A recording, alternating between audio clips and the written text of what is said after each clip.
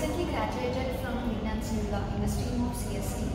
Uh, I'm 2024 passed out. I joined in JSpiders in Feb.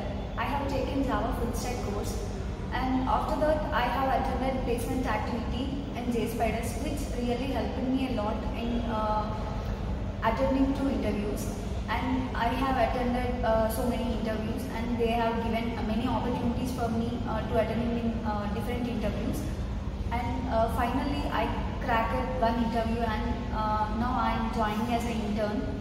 I especially thanks to JSpiders for giving me this opportunity and uh, the trainers in my institute are very good and capable.